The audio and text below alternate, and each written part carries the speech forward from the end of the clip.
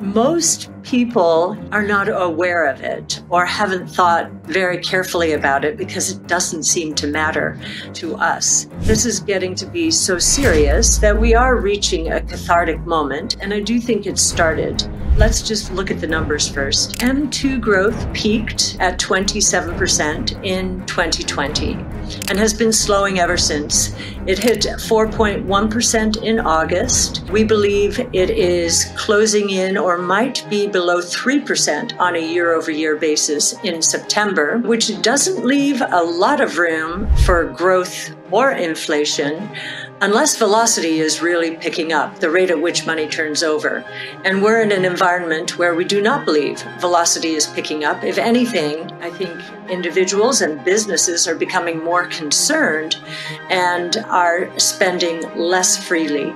If you look at M2, also, you'll see that it actually peaked in March. Now, this is very unusual to see sequential declines in money. So it, we have not gotten back above that March peak, and we may not get back above it the way the way that Fed policy is going. And I think I'd like to build the case a little more here that the Fed is probably making a mistake. I say probably because I have to from a compliance point of view, but I really do believe the Fed is making a mistake.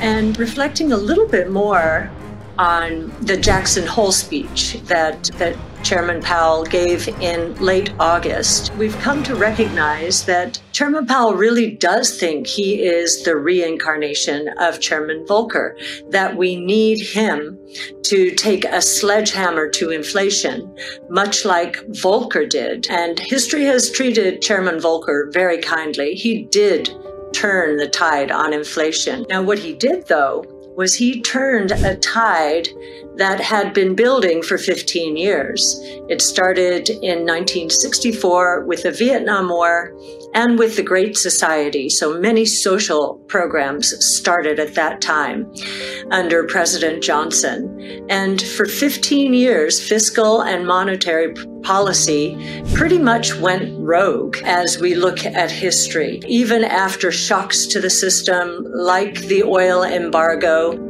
the, and the stimulus that came about because of it, both monetary and fiscal policy, we never saw the kind of slowdown in monetary and fiscal policy that we're seeing right now. Federal spending is still down 14% on a year over year basis. You never saw a decline in fiscal policy spending in the 70s. Monetary policy seemed to be on automatic pilot back then. The dollar was getting crushed toward the end of the 70s, adding to the mm-hmm. inflationary inflationary fire. So Chairman Volcker did choke off money supply and killed inflation. It took a long time for people to believe that inflation had peaked. In fact, I don't think many people believe it peaked as it did in 1981 until 1986 when oil prices crashed. The inflation expectations were embedded in the system and it was very difficult and Volcker did a masterful job. So that was over a 15 year period that inflation had built.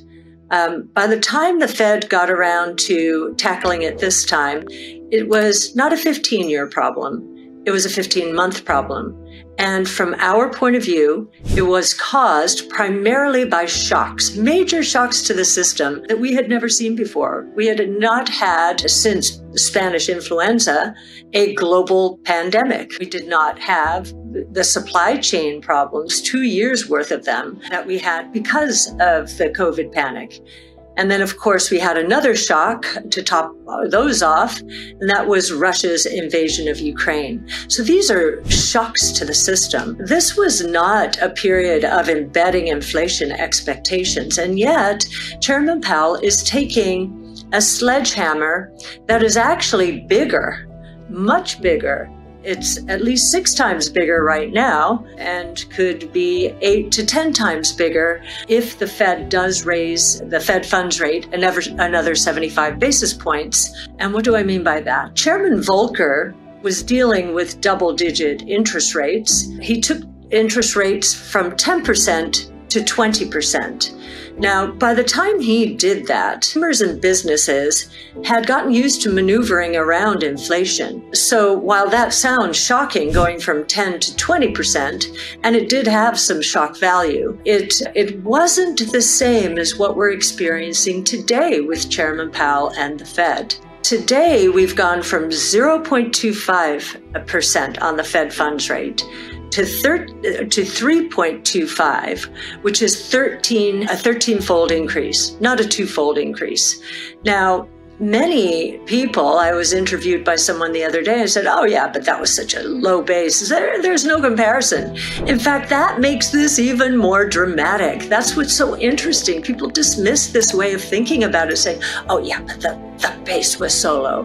The base was so low, and it had been really since 2008 and 9 because we were in terrible crisis then, and it took a long time to get out of it. And so we did not have inflation expectations expectations built into the system. I really don't believe at all. And, and yet, Chairman Powell is behaving that what's uh, behaving as though what's going on today with inflation is much worse than what Volcker inherited. Starting from a low base is really shocking the system, especially given how long interest rates have been low. So I question the premise of those who say, oh, this is so different. It's such a low base. That's the whole point. It's a low base, 13 times. So if they raise the Fed funds rate another 75 basis points, this will be a 16 fold increase compared to Volcker's two fold increase. Now, we have been expecting serious ramifications, financial and other ramifications, because of this monetary policy. And we've gotten the first one, but most people here in the United States are not aware of it or haven't thought very carefully about it because it doesn't seem to matter to us. But I was in the UK around the time that it had its near Lehman moment. Near Lehman moment means the financial system implosion. And that was just about 10 days ago. Now, what do we mean by that? There is something called LDI, liability driven investing, and it's where pension funds match their liabilities with assets. So they will, in its pure form, they will match one for one the amount that they have to pay out to pensioners as they retire. It would be great if they did match assets with liabilities completely from a safety to the system point of view, but they don't. And with banks, they got, and a very low interest rate environment, they got used to using derivatives and taking shortcuts to try and accomplish the same goal. And after a very long period of very low interest rates, I heard someone say the other day, and we were talking about this LDI crisis in the UK, that the reason it's so serious is pension fund sponsors were beginning to think, and banks were beginning to think, that interest rates would stay very low for a very long time, for as far as the eye could see. And that assumption was built into the kind of derivative activity they were doing.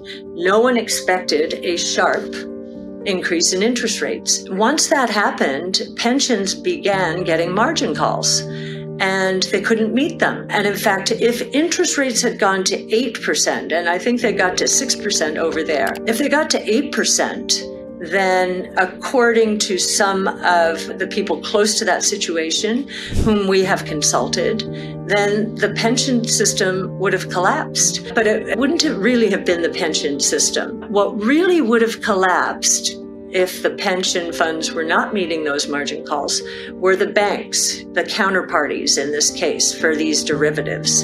And so the Bank of England had to step in and basically say, pretty much the same thing that Draghi said, the chairman of, of the European Central Bank in 2011. Uh, he basically said, We're going to pull out all stops no matter what. While the BOE had been almost forced because of currency depreciation into following our Fed with higher interest rates. This was this was going to cause a great deal of harm to its system, and so it had to reverse its policy. So this is another reversal in policy, or it's a bit of a shift in policy. It's an outright easing, and they said they will continue until October 15th. So now all of these pension funds, in collaboration with the banks, are are are deleveraging and they have till October 14th. So what do you do is if you're deleveraging in an illiquid environment? All markets are experiencing duress today. I think the Fed is a big part of that. So what do you do? You sell the most liquid assets. What are those?